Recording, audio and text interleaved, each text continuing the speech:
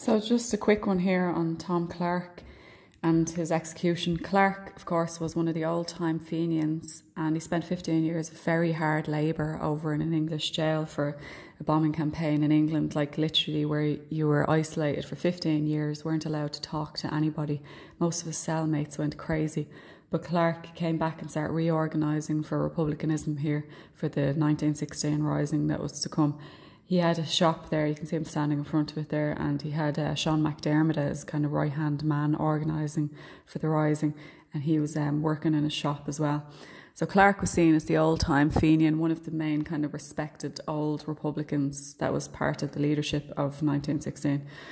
And just to go on towards his death, I suppose, um, he was in the GPO in the Rising, but then he was sentenced to death and he was really mocked like when they were being held at the rotunda and that by some of the british officers because he was an old time fenian he kind of got a bit more abuse than some of the rest of the volunteers they were eventually then of course sentenced to death in Kilmainham jail and um, they were executed at around like 4 a.m. in the morning. It was actually probably about 3 a.m. when they started the executions that night. It was Thomas MacDonagh was executed and then Clarke was being brought down.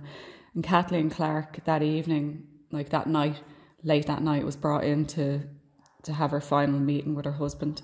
And they were having a, obviously, it was very sad, and they were having their final words. And he said, You should remarry and not let my death cast a shadow over our three sons.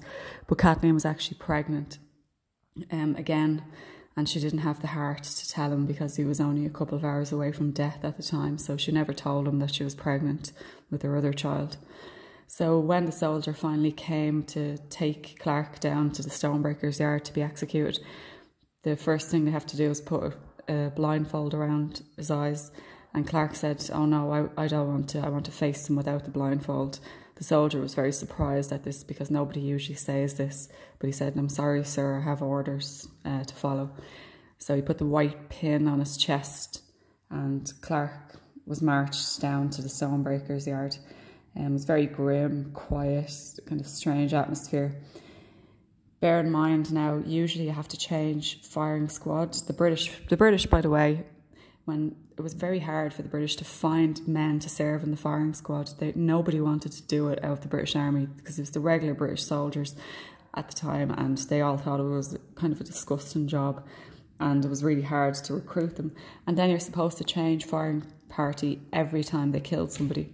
But MacDonagh was just killed, and straight away Clarke was marched down to be killed, and they never changed the firing party. So the firing party were all absolutely shaken and distraught.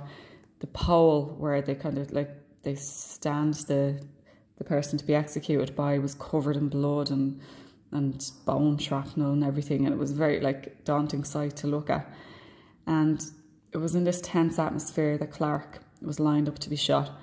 And when they gave the order to fire, not a single soldier hit the white card in his chest. They all missed. And Clarke, who had already had a long kind of history of struggle in his life, he didn't die instantly. He fell to the ground and it was moaning on the ground in pain. And the main officer in charge of the firing party had to go down and shoot him in the head with his pistol to seal death um, and to put him out of his misery and the women in the cells were, were kind of near the stonebreakers yard and could hear all of this as they were going on as well. The next to be executed was Ned Daly, and basically MacDonagh and Clarke's bodies were just thrown into a little shed at the stonebreakers yard. Now, I mean, they were just there wrapped in an old blanket, blood pouring out of it, and Ned Daly kind of stood and said his prayers at Clarke's um, body. Ned Daly was the next to be killed, and he was linked in with Clarke because Clarke married Kathleen Daly, Ned's sister, who became Kathleen Clarke. So they had uh, good family ties, and Ned Daly was very shook. Of course, he was next to be executed, and then the three bodies were brought in a um, horse-drawn ambulance down to Arbour Hill, where the, the same fate happened to them. A priest actually said Father Farrington was there to receive the remains at Arbour Hill. And he said, as it was a very sad sight to see the bodies just thrown in the back of the ambulance, covered in congelated blood, the blood of all three bodies just all flowing in the back of this ambulance, and they were still blindfolded. And you touched out one of the corpses, and they were still warm, and literally just thrown into the quicklime pit. Again, that was the British policy, so that we couldn't I suppose, mourn our dead and have them as martyrs and heroes or reinter them elsewhere, etc.